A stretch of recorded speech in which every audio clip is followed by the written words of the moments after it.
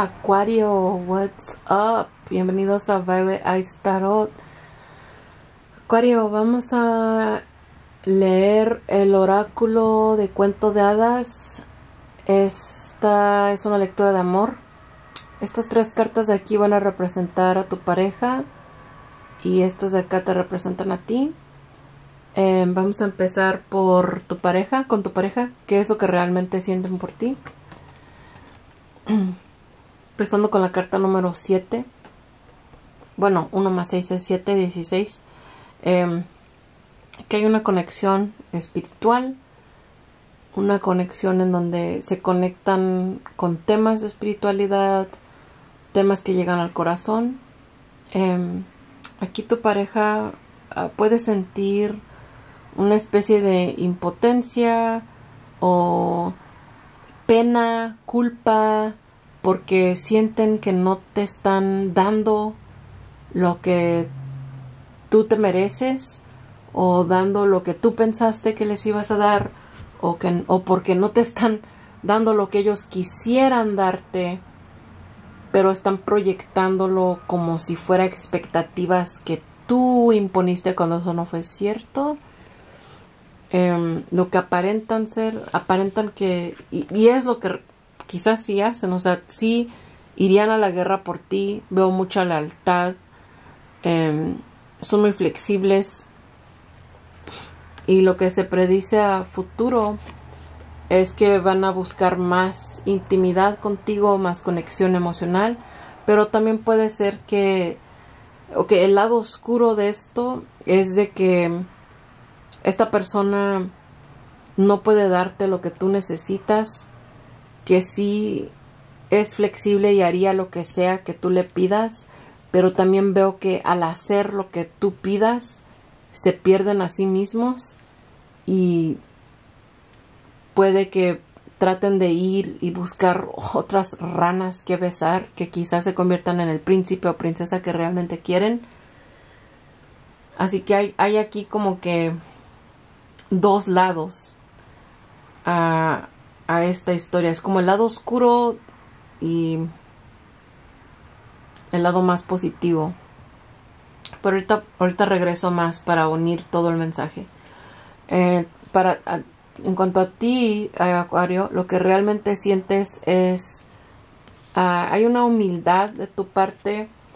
Eh, siento que realmente te conectas con esta persona por, sí, cosas del corazón, por cómo crecieron, la manera hay una conexión especial eh, acerca de cosas que vivieron, cómo crecieron, quizás tengan que ver con la pobreza, eh, con sus metas, como su filosofía del dinero, algo así que los une.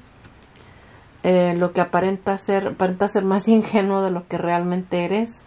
Uh, creo que tratas, haces, eres más pasivo que tu pareja, eh, los dejas que ellos tomen las riendas pero ellos a veces no toman las riendas y a veces nadie está manejando esta relación a ningún lado, a ninguna dirección.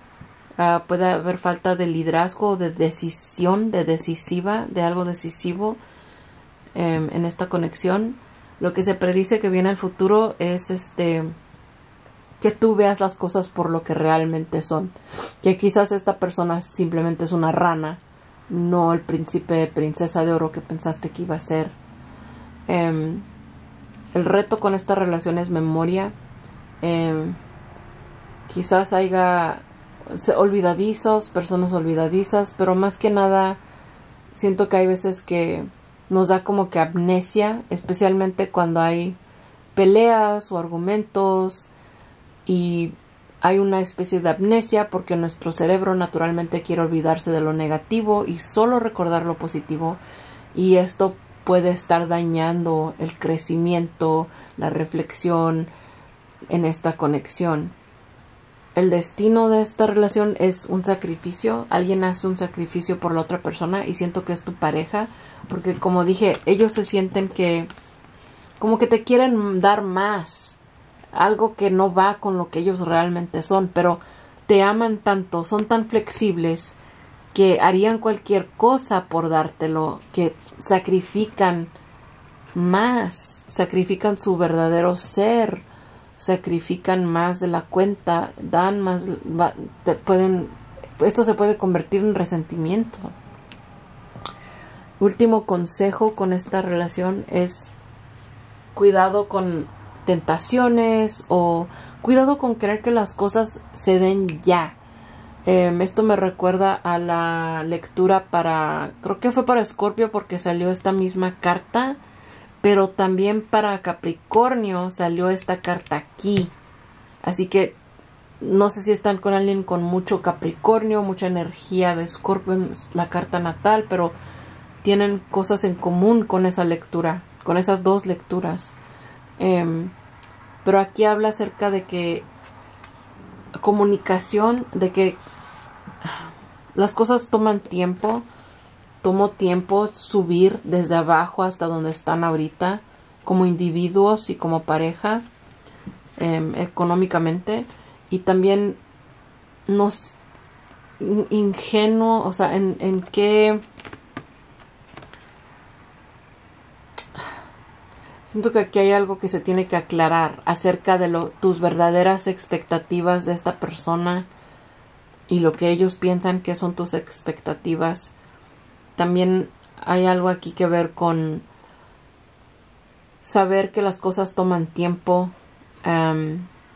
es como cuando cuando haces un poquito día a día. Eh, sobre todo siento que más conexión emocional, compartir intimidad emocional va a ayudar a clarificar muchas cosas en lugar de que tu pareja trate de adivinar qué es lo que tú quieres y así sacrificarse. Pero bueno, vamos a ver qué es lo que, algo positivo, qué es lo que qué es lo positivo en esta relación. ¿Qué es lo positivo entre ustedes? Positivo.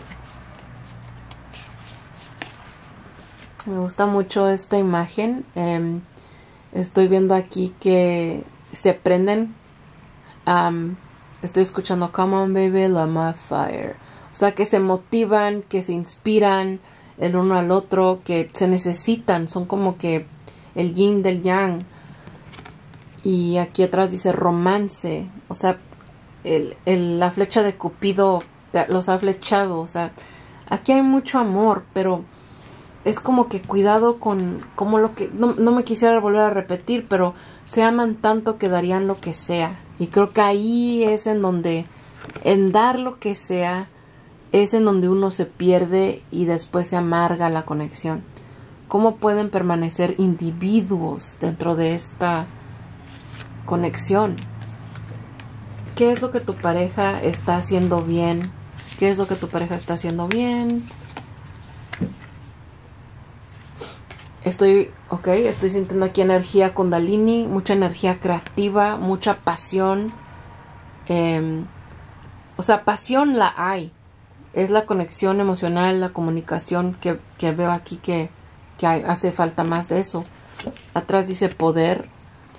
Y tú eh, por instinto sabes que es bueno para ti y en dónde tienes el poder de decir no y alejarte.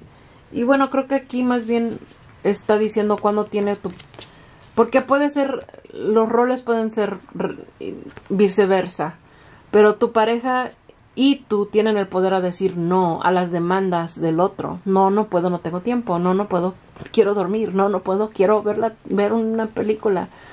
Eh, aquí hay algo de que alguien está dando más de su tiempo, más de sí, diciendo sí, no saber decir no. Pero un buen balance del poder. Bueno, era algo positivo, puede ser que sí sabe decir no. Algo que está haciendo bien Acuario, algo que Acuario está haciendo bien. El árbol de la vida, mente abierta, saber cómo entrar dentro de diferentes filosofías, tus propios frutos, todo tu trabajo te está dando fruto, trabajo que llevas hace años intentando hacer o más bien que sembraste hace años. Y atrás dice, manifestando milagros, tu sueño pronto será realidad, confía en tu corazón y continúa a seguir sobre en, en guianza, siguiendo la guianza de tu propio corazón. Así que aquí veo, veo cosas bienes, solo, solo tiene que haber una comunicación y cuándo dar turnos, cuándo es tiempo de que esta pareja brille y que esta trabaje y sacrifique y cuándo va a ser tiempo que esta pareja brille y que esta de tiene que haber ah, más conversación acerca de eso, más planes para que ni uno se sienta menos dentro de esto. Sí, Acuario, eh, este es el mensaje que tengo para ustedes. Nos vemos a la próxima. Chao. Namaste.